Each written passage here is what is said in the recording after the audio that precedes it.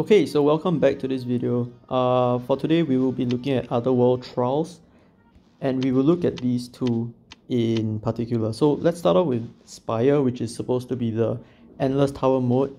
Uh, by the way, I believe there are 500 floors to this Spire. I can't see the rest up there, but as far as I'm aware, according to...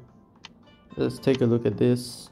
Uh, climb the Spire according to this, it goes all the way up to 500 floors. That's crazy. Uh, so there is that challenge for, I guess, for people who are really that good at the game. However, as you notice, there are restrictions. So it you can't just bring one team and and cheese it out with like crowd controls and all that. Uh, you actually need to build several several units so that you can use them in specific instances. So for this case, I can use all characters, which is awesome. I'll just throw in uh, all my all the characters that I pulled uh, yesterday or whenever this video is uploaded. This is actually one day after that. So super awesome. Um, what's her name? The Angel of Death. This free netball. She is really really good. So she's uh she's exactly who you need to build up at the start because she will be helping you farm like crazy. Okay, so no challenge here. I got an EXP cat. Uh, let's go to the next stage. So in this stage, oh, okay. So in this stage, I cannot use evil faction, but the thing is, my main team don't even have evil faction characters, so that's all good. This will be a cakewalk again.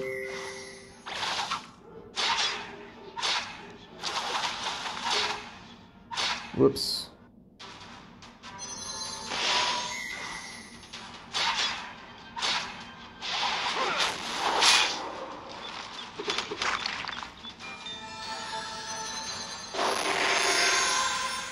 Yeah, so currently there is really no issue whatsoever.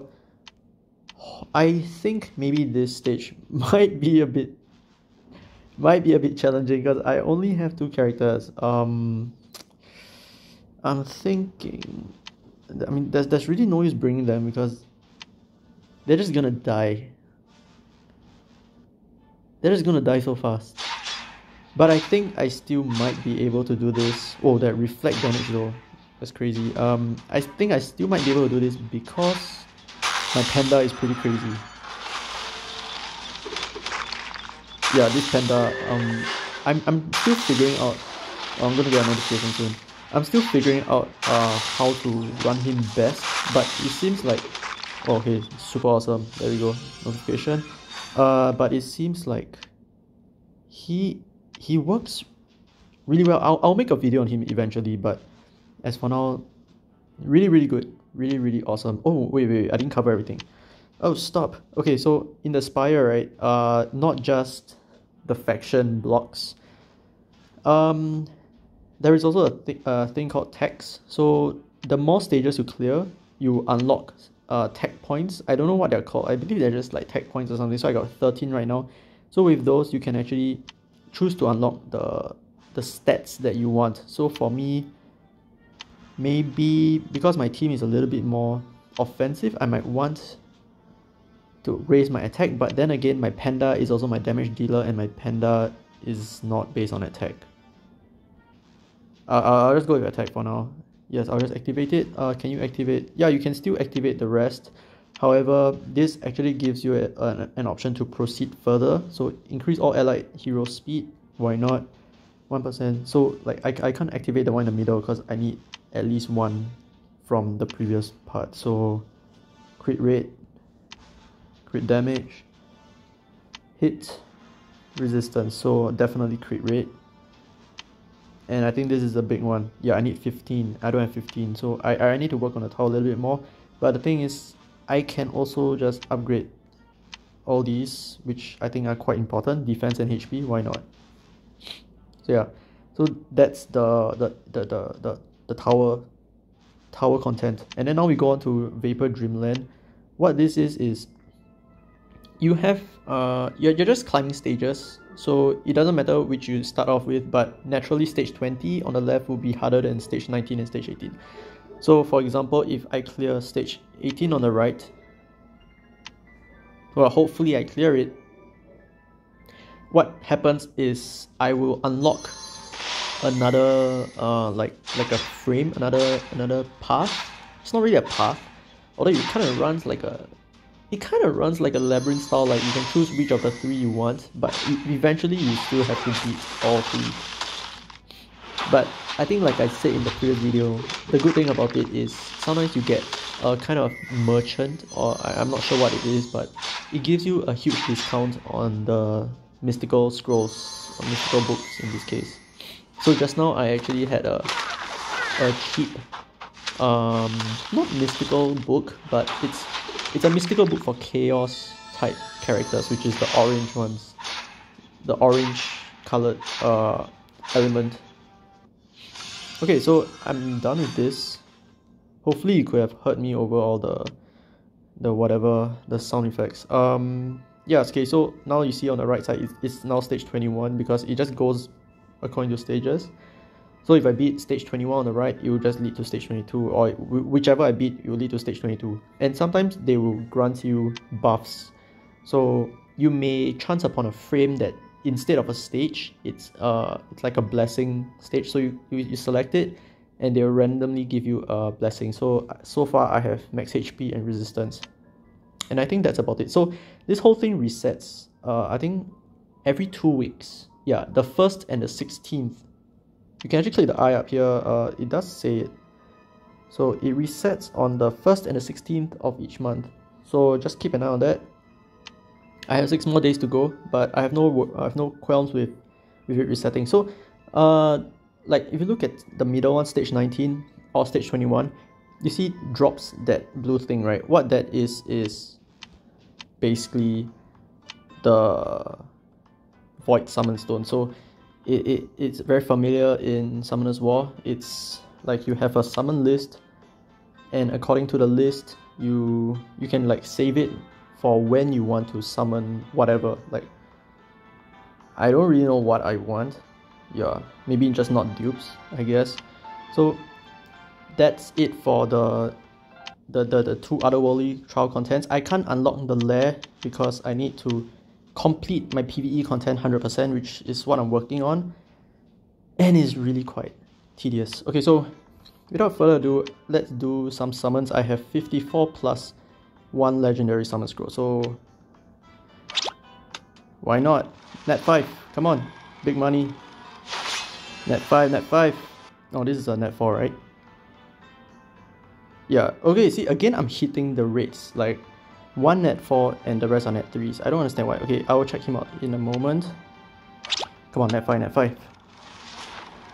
Net 5! Okay, this is a net 4. Lumi, right? Yeah, Lumi. Again, I'm hitting the rates. Something fishy. Net 5, net 5, net 5, net 5, net 5. Ooh, what's this?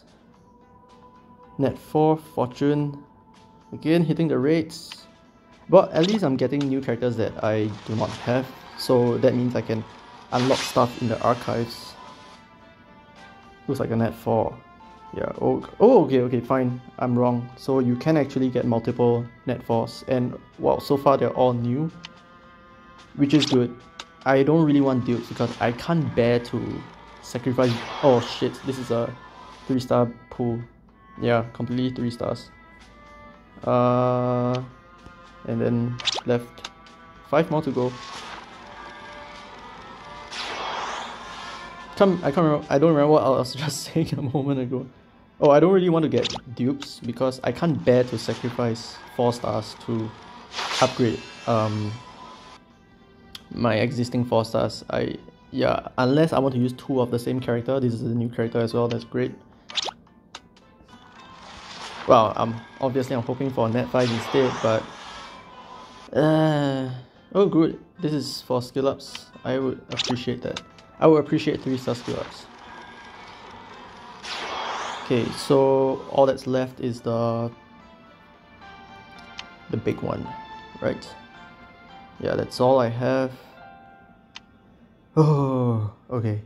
10% chance for a net 5, I think. Where is it? Yeah, 10% chance. The this one, the one at the top. I mean, in the middle right now.